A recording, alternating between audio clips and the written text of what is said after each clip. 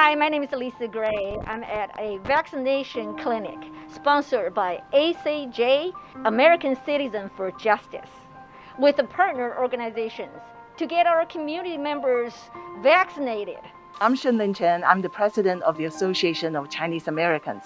I'm so happy that we have the opportunity to work with ACJ, APIA Vote Michigan, WWN, and also Dragon Eagle TV for this wonderful vaccination clinic. My name is Peggy Du. I'm the interim executive director of the Association of Chinese Americans. Today is our fifth clinic.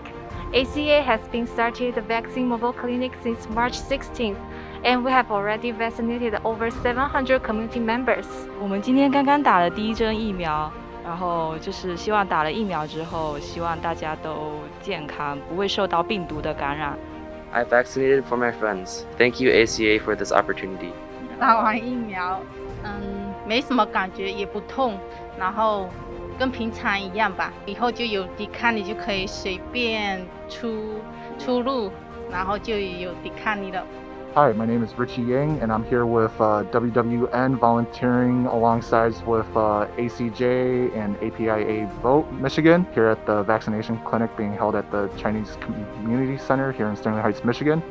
And um, this event has is a really important event for everybody because it's really helping to spread um, the importance of the vaccination throughout the whole Asian American community.